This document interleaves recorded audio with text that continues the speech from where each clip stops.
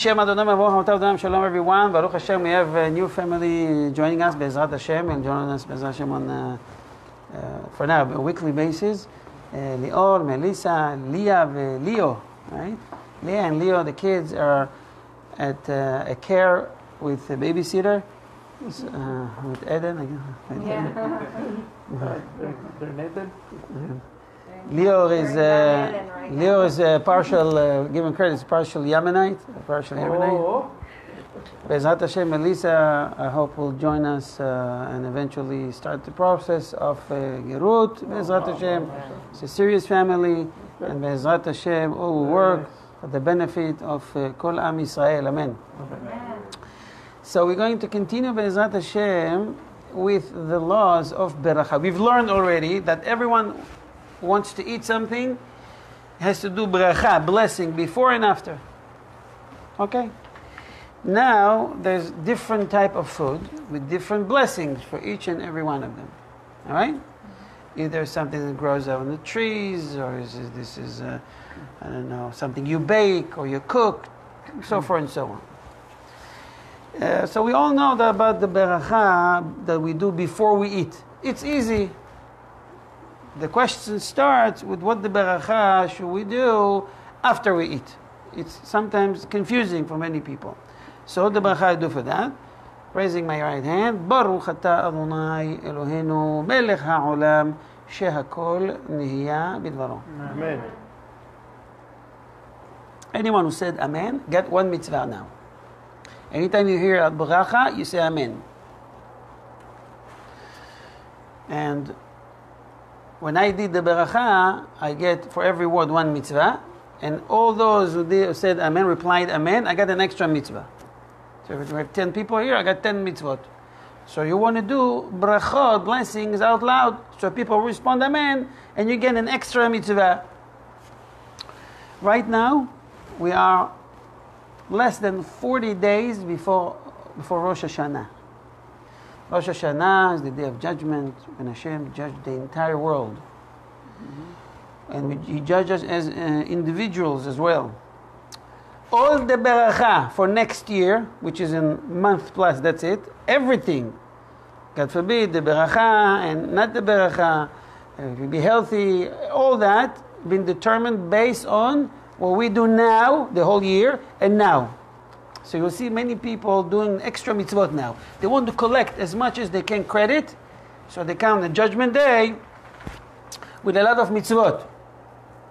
So the next year, this coming year, the Jewish year, will be blessed with good parnasah, with good health, with everything you can imagine. So right now we're sitting here and collecting a lot of mitzvot for learning, studying Torah. But uh, what we do after? What do we do tomorrow morning? So we have to focus on doing extra mitzvot, extra brachot, blessing, everything extra. So it's not too late. It's not too late. Everything has been determined, I told you, based on the actions last year. We're still in last year. I would say uh, Sunday was 40 days. So I would say 47 days to go, uh, 37 days to go. Okay? Any questions? Before I start, I want to, I want to uh, say uh, באמת יישר כוח, תודה רבה. Thank you to the Medina's family for hosting the shiur. May Hashem bless you with all the berachot in the Torah. Amen. Amen. Amen. Toda. So we've learned that the rule regarding beracha harona, the blessing after, some known as birkat hamazon, after eating fruits, is based on the same principle as the rules for birkat hamazon. That is, as long as the fruit is eaten, the, the fruits eaten have not been digested, it is still possible to recite the blessing but not afterward. That is, as long as the person does not become hungry again, he may still recite the blessing. So he ate, I don't know, grapes, a watermelon, whatever he ate. You do bracha after, the special bracha borei nefashot for certain fruit and some. על הגפן או על הארץ, we've learned that before, you can look in your סידורים, you see what type of food you do bracha after. So you forget, You're hanging around the house, you finish eating the fruit half an hour ago, and then you realize you didn't say the beracha after finishing completing the plate. Then as long as you still full, you're not hungry, you can still, even three hours later, it's not too late to say the beracha. In this beracha, we're thanking Hashem for what He uh, blessed the world with fruits and vegetables that actually nutritious, give us nutrition and, and, and vitamins and help us maintain our life uh, on a daily basis. Make sense? Yes. Okay. What about wine? Most people, uh, I don't know if I say most people, but some people, they say bracha before drinking the wine, except the lechaim. Lechaim, I want to wish this, that this is all nice. But you have to say birkat bracha, especially for the wine. Right. Some things, you know, I've noticed that some things that we do bore priya gefen only on Shabbat or holidays. What about drinking during the week? They thought, no, it's not Shabbat today. It doesn't matter. You're drinking wine, you have to say bore eh, priya gefen. Right. So there's a question. What should I do? Do I do the wishes? Guys, I want to wish the host for inviting us, saying this, bar mitzvah, bat mitzvah, whatever, and then say bore eh, priya gefen? Or say bore eh, priya gefen and then the wishes? We've discussed this before, I think. Where's Hashem? Exactly. So as Elishama says, first of all you say bracha to Hashem. Then you do the lechaim. You to hold the cup, Baruch Bore Priya Gefen. You drink a little bit, and then say, guys, I want to make a toast. I want to do lechaim because blessing. Who gets first? My Creator. First of all, Hashem. You drink. Now you can say the bracha for your, to yourself and and uh, drink, or if you want to gain more mitzvot, you say it out loud. So people respond, Amen. You get extra mitzvot. That's what Hashem taught to Abraham Avinu, no? Avraham Avinu, where was it? Avraham Avinu is When when he saw him, you bless first. He blessed first Hashem. no, uh, yeah, right, okay. So it was not with uh, Shem, it was with you're referring to Avraham Avinu after coming back from a war when he defeated the four kings. the four kings at the war yeah.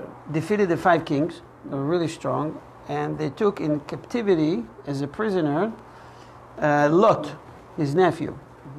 So Avraham Avinu, with 318 people, went to a war against hundred thousands wild tribes, crazy people.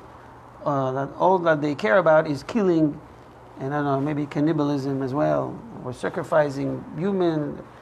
Avraham didn't think twice. My nephew is in trouble. I'm going to save him, and he beat them. They got scared from Avraham Avinu. On his way back, he went through what is today Yerushalayim.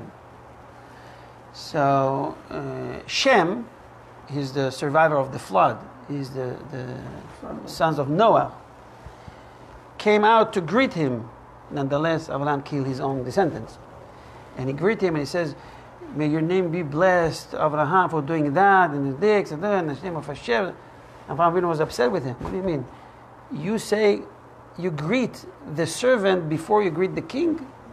First of all, you should say, Thank Hashem that saved you. And then, from that moment, Shem was an old person, really old. He lost its uh, prof- um, prophecy, meaning that he was a prophet, but it didn't go back to his descendants. He moved, the power of prophecy moved from him to Avraham Avinu ever since. He, he was, he was um, Kohen. Kohen. It was very uh, famous. Who Kohen le'el elyon, as it says. Anyways, for greeting human being before greeting God. There's another story. I don't know if you're familiar with in the Tanakh in the Bible in the book of Kings, Kings two, with uh, a mighty king from Babylon. That um, his name is Sancherib. He um, he overslept. I'm not going to tell you the whole story in a nutshell. What Hashem did, Hashem did a miracle to Hizkiah. Hizkiah was the king in the land of Israel. So, some, uh, so um, Hashem stopped you can read it in the, in the, in the Tanakh. Hashem stopped the sun From, from tilting from tilting, right, for a few hours. degrees. So when Sancherib, the king, the mighty king, he conquered almost the entire world. He woke up. He said, "Hold on, what is it? Night here, day here. Well, something is wrong. Oh, they didn't wake me up. Uh, the people rebel against me." Uh, so he called the servant. and Says, "No, no. There's a God of the Jews. He hold the sun a few more extra hours for uh, for the king of Israel." Said, "Whoa! There is a king uh, that great that God Himself stopping the sun for. Write him a letter, letter of greeting and blessing." So they wrote a letter to the king Chizkiyahu and the king of Yerushalayim uh, under the God, so and so and so. They wrote the letter, and it was a guy there that he's in charge. He was the scriber, the head of the scribers. His name was Nebuchadnezzar. Years later, he became the king that destroyed the first temple of the Jews, our first temple. So he walked in and said, Okay, fill me in. What happened today? So, oh, the, the messenger just left with the letter. Here's the copy. What copy? Show me. Oh, stop him, stop him. Why? This is not the way you write letter. First of all, says to the God of the Jews, and to the king, and to the peace of Jerusalem. This is how you write a letter. And he did, in order to stop him, steps one, two. He was about to do the, the first, the third step in order to stop him to the honor of God. The Midrash says all of a sudden Eliyahu, Eliyahu, the prophet, uh, came down and said, oh, "I'll take care of it. Don't worry." It was look. It looks like one of the soldiers there. He said, "Uh, "Don't worry, I'll, I'll take care of it." For giving the honor of Hashem, Hashem made him Nebuchadnezzar to become the king later, and he destroyed the temple. And this is why, by the way, we're doing every day, three times a day, three steps back in the Amidah when you do Tefillah. Why? Because the three steps forward that Nebuchadnezzar gave him the power to destroy Yerushalayim, we do three steps to make up, to do rectification, to fix this um, uh, sin um, uh, and, and take the power out of these evil forces. I'm giving you just this in a nutshell. I'm sure you have a lot of questions, but that's, that's, uh, that's the idea. So, first of all, you greet Hashem. Then you greet His servant. Every time, by the way, it says in the Kabbalah that many people, they're blessing the children and they don't understand why the beracha doesn't work. So I'm blessing my child to be healthy, to be smart, to be religious, to be this. It doesn't work. So it says it's because of uh, uh, uh, one mis- big mistake. What they do, they greet the children or bless the children before they bless God. So what should they do? Before you put your head, your hand over your son's or, or, or daughter's head, you should say, Beracha to Hashem. I bless Hashem for doing so and so and so. What I do, I'm saying, Yehi Shem Adonai Mevorach Me'ata V'Adolam. That's what I do in the beginning of every class. I'm blessing God first, and then I'm saying to my son or my daughter, should be you know healthy, uh, uh, you get good grades, I don't know, you you be uh, smart, you get uh, whatever you need for parnasa, you need the. Rabbi, what happens if you say the bracha of the Kohanim, that you bless the kid, and you say, Bracha Adonai Shmerech? That's No, you should say that's the beracha. That's what I'm saying. You sang the beracha of the kohanim, and then you bring your own special bracha to that blessings. Yes. Yeah. Ah, you start with saying bracha, one bracha that is including all the brachot in the Torah. It says Yesimcha Elokim Ke'Ephraim Echim Menashe. Four words. It, it, actually it folds under it all the great berachot in the Torah. Yesim, you want to write it down? Yesimcha Elokim Ke'Ephraim Echim Menashe. And then I'll do the Birkat Kohanim, and then I'll do special bracha. One need uh, speedy recovery, God forbid. One need this, now one need that. Shalom. Come on. So, as we learned before, the power of speech. Hashem gave us power in the mouth. Not only us, the Jewish people, everybody. Every person that can speak, can talk, has the power.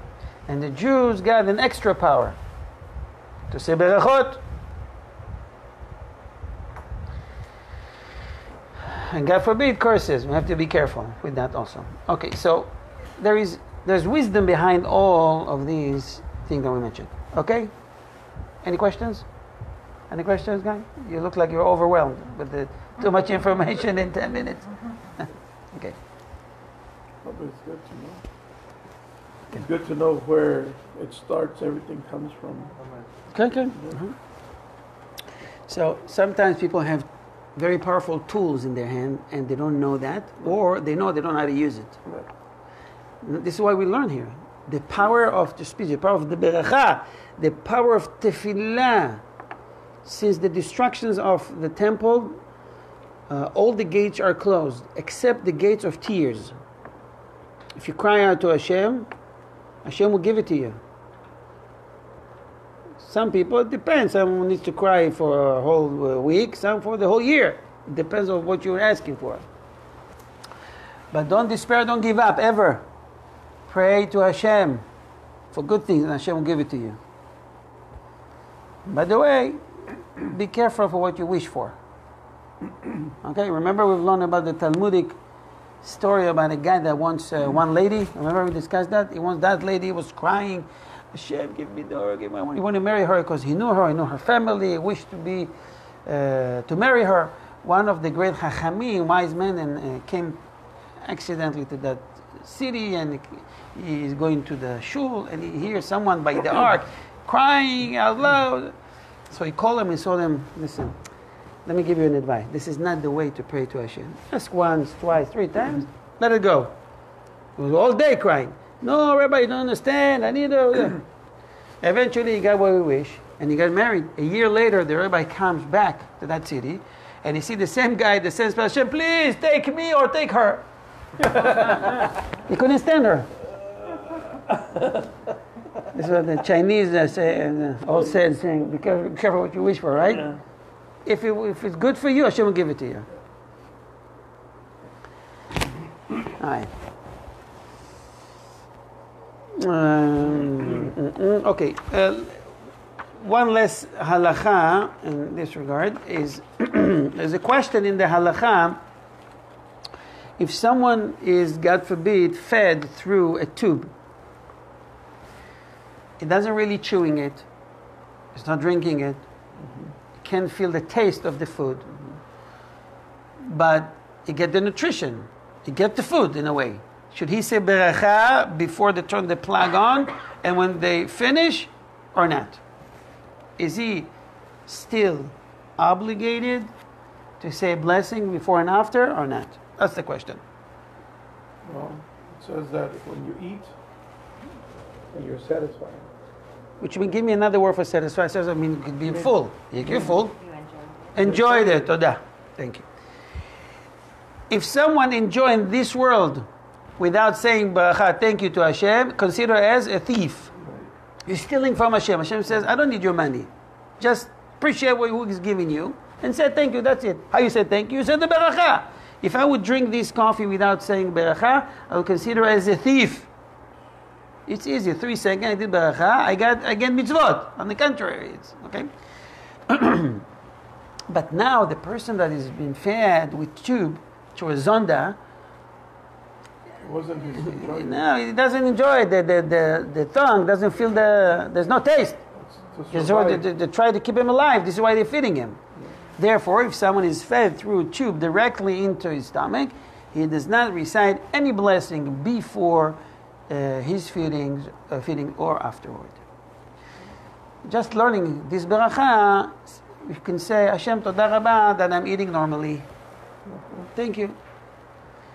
It was uh, an unfortunate uh, case I've heard, I learned about last night, about a Jewish guy married with three children, little kids, that was driving his bike on North Plano. And all of a sudden, from nowhere, a truck came and went over him, and he was killed right on the spot. This person, his name is Yaniv. They're taking care right now of his uh, and we dedicate this to our class to his soul, Bezrat Hashem. You never know. You never know. You have plans, but sometimes the plans are being uh, changed or ruined by things. Uh, I don't know whose fault it is. It doesn't really matter right now. We should learn from this case a lot of things. First, to be careful. Secondly, that uh, nothing, uh, we take things for granted. You don't know what's going to happen the next minute. You can choke, you can choke to death from a pretzel. I think it was a present like that, right? The president of the United States almost choked to death from a pretzel. You never know. There's a saying. There's a saying. I try to translate it to English. I hope it makes sense. In the Talmud, about camels that in the desert carrying the leather of other camels, and it says in Hebrew, "Harbe גמלים זקנות נושאות עורות גמלים צעירות. Meaning, many old camels carrying the skin, the leather of a young camels. Young camels thought, I'm going to be, no. They're taking you to the slaughterhouse. And the old camel is, prepare yourself always. we wish to for Hashem to give us a long life, a good life, a healthy life, and we can gain more and more if we're being close to Him. How you get close to Hashem? With blessing, with berachot, with, with uh, mitzvot. Parnasa is good. It's not the only thing that it's important. Hashem can take parnasa just like that and give livelihood like they give, take and, and give. A lot of tycoons that we know have troubles in the jail. Some of them make suicide. Uh, a lot of problems. People envy the rich people. Be happy with what the game Hashem gave you. I would like to do one or two more. Uh, what the time? What time is it? Nine o'clock. No, okay. So we continue to the next part of um, one of maybe the most famous questions that we have all the time. Is we know that Hashem creates the world with what language? What language Adam and Eve spoke? Be more specific. Mm-hmm. Aramid was came later. Lashon HaKodesh, thank you, Oscar. Lashon HaKodesh is, is very close to the modern Hebrew we have today. That was more and more developed in the uh, recent year by Eliezer ben Yehuda. Remember Eliezer ben Yehuda, Yehudim. Anyways, they spoke Lashon HaKodesh, everybody, till Noah, they spoke Lashon HaKodesh, the holy language, the one that we use in the Torah and read from the Torah. I just got up today when we come in the class, she told me like uh, alphabet. I tell him alphabet is in English, but it's the alphabet. Yeah. So when you think about It sounds, it sounds Aleph Bet. It's Greek. Greek, It's Latin, no? It's not No, it's Greek. Greek. You speak Greek, no? They call it alphabet? Alphabeto. Alphabet. Like alpha is the first letter, A, and bet. Beta. What's the last one? Z? No, No, it's um, Omega. omega. What is it? Omega. Ah, Omega is the last one? Okay. That's what they say. That's Alpha I say. and Omega. Ah, okay. The beginning and Now you get it. Yeah. so it's interesting why I'm saying it Yeah. because what's the difference between Leshon HaKodesh? I'm going to call it Hebrew, okay? Leshon HaKodesh, Hebrew, to any other language. It's a major difference. What's the difference? The difference is the, one, the more, the, the, the, the biggest difference is that one language was created by God, and the rest was created by our people, agreements on, over words, and, and, and uh, I don't know, wise people or committees or whatever. And the language is still developing itself. But the Hebrew, the Shona Kodesh, was set up one time by God with all the wisdom and the secrets in it. And there's so many levels. There is a numerical level, and there is a counting of letter with the first and the last. A lot of wisdom. You can create or destroy things just if you know the right code. Hashem created the world using words, Hashem. Hashem created the world with words. Therefore, in the world's DNA, there is a power of speech.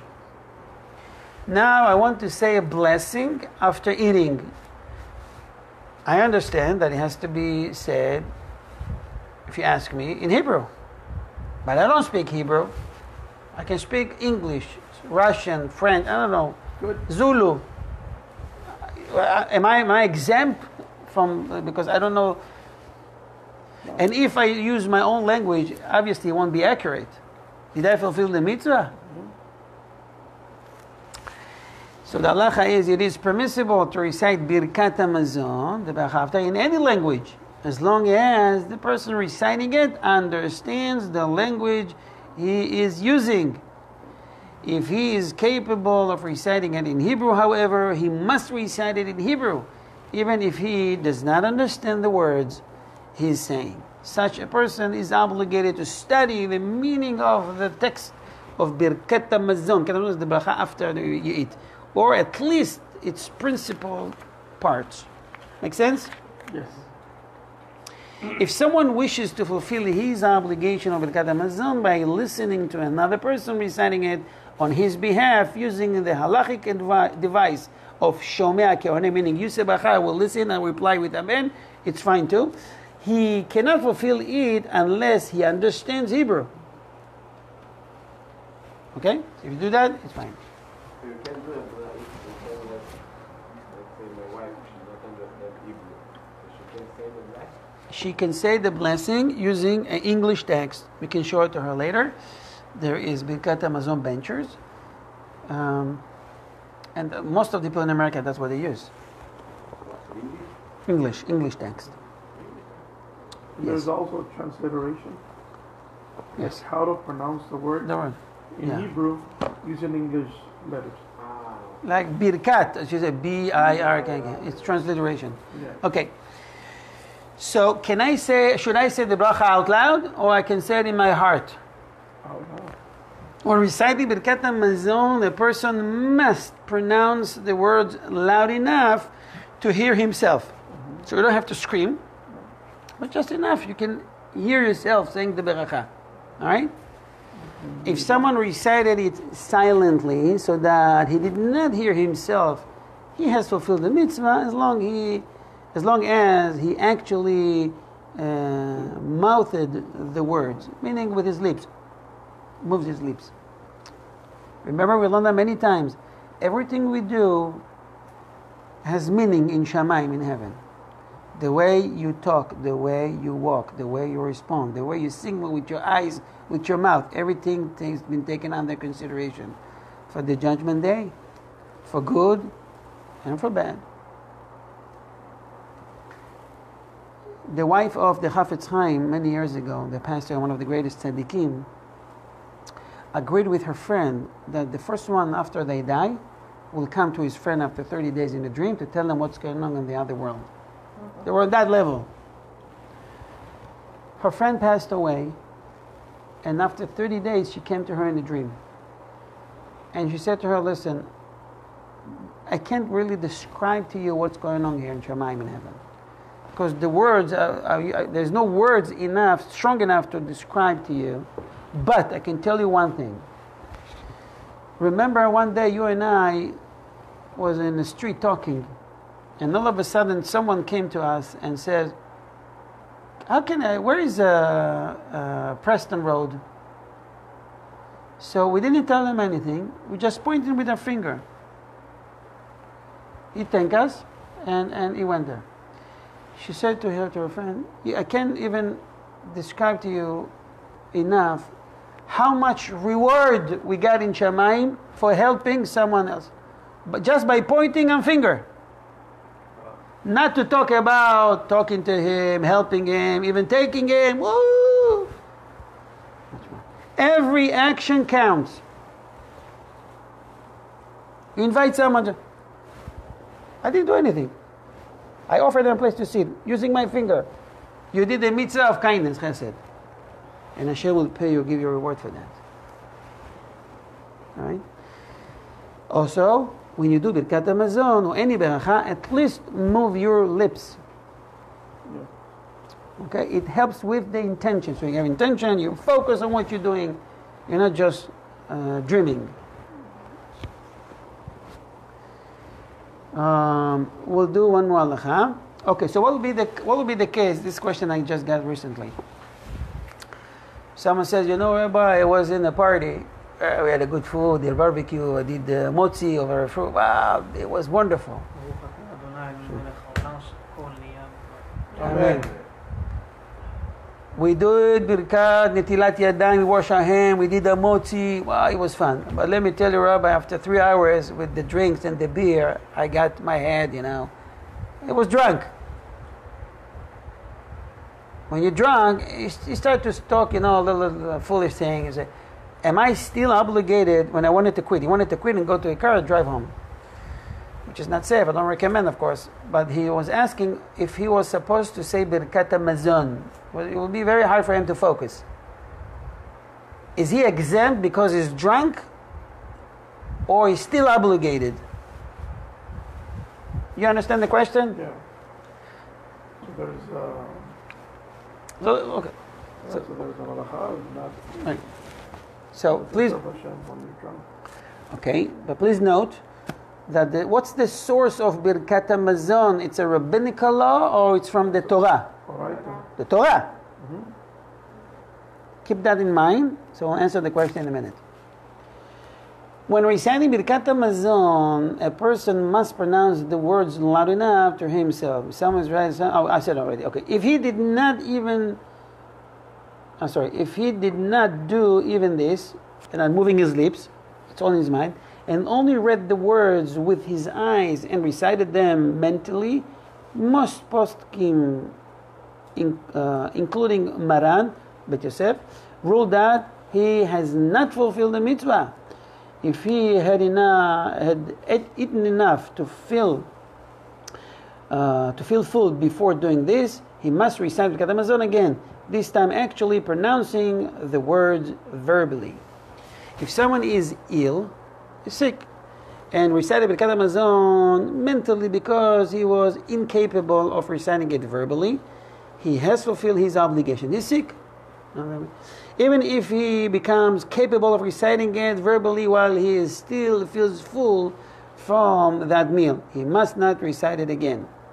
As mentioned above in Siman 183.23, it is proper to recite Birkat Hamazon out loud since this enable one to concentrate better on the meaning of the words. Furthermore, it helps him to remember to recite Ya'aleh v'yavo or Retzeh when those passages are required. If it's a Rosh Chodesh or Shabbat or Yom Tov, reminds you uh, that, uh, that thing. Remember that we've learned that this is a segula, it's a merit of parnasa. I don't know who are you who, who tried that last time, you did Birkat Hamazon, but it's highly recommended. Give it a shot, try it. See how your livelihood, your parnasa becomes much better. Just for saying Birkat Hamazon from a bencher, from a siddur, word by word, slowly. Okay. So let's conclude with answering the question about the drunk guy. If someone becomes drunk, he still may recite Birkat Hamazon. This is so even if uh, he is now incapable of speaking clearly. It is best, however, to make sure to recite Hamazon before reaching that level of drunkenness. Um, if someone has reached the level of being as drunk as Lot, meaning like is is down, okay, he is considered totally mindless, and he is exempt from fulfilling any of the mitzvot. If he recites Birkat Hamazon while in such a state, he must recite it again after he recovers his sober, sobriety and if he is still full from his meal. So if he wake up two hours later, maybe he's still there. So the advice, and that's what many do by the way for Purim, they do the meal, they don't drink during the meal, they finish the meal, Birkat Hamazon, and then drinking. So if you sit with friends, uh, it happens almost every Friday night, a lot of friends gathering. I know Baruch Hashem, our people here are, like to celebrate every friendship, but it's fine. So the best advice is finish the meal, do birkat hamazon, bring all the treats later, the snack, the whiskey, the arak, the homemade arak. He's promoting this. Uh, promoting uh, I taste this. It's good, rabbi, It's really good. Uh-huh. It's very strong. Really good. Yes, I got it. And it's arak yeah, he makes it. Some.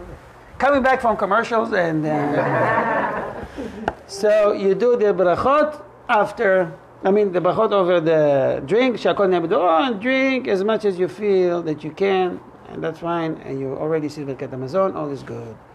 There is no bracha, by the way, after drinking this uh, alcohol. It's only bracha before. Bracha after, it's, you're exempt. Anyways, any questions? Okay. Um, we'll, Bezrat Hashem will answer next week a question, for example. Someone that uh, started to do Birkat Hamazon, and while he's doing it, he said, Hey, I already did Birkat Hamazon 10 minutes ago. Should he finish what he started already, or should he stop right where he's at? Second question Someone is walking in the house and says, Did I do Birkat Hamazon or I didn't? He's not sure. We'll answer these two questions next week. On behalf of Ohev Israel Foundation, I want to thank everyone participating in this show and all those who support uh, Ohev Israel Foundation. We have a family that just arrived last night. Baruch Hashem, today we took care of it. We took the father and his daughter. It's going to be major surgeries. Bezrat Hashem, they're starting the process now. We were able to help them out with accommodation, with food, with a place to stay, with a car, with fuel, with translator, uh, MRI, doctor. It's all operation, let me tell you. And with a small donation that you can give one time on a monthly basis, it can help us a lot to uh, help these families and more families coming in. Just go to Ohev Israel Foundation and text me. I explain to you how you can support this uh, uh, great project. And all those who support uh, the needies and support the sick people, uh, it's guaranteed to them, as Kanievsky said, that they will never have such a sickness, God forbid, or any sickness in their house. It's a great protection. Uh, so go to Ohev Israel Foundation, show us your support. May God bless you with all the barachot, and we'll meet you Bezrat Hashem next week, same place, maybe a little bit earlier. Shalom, shalom.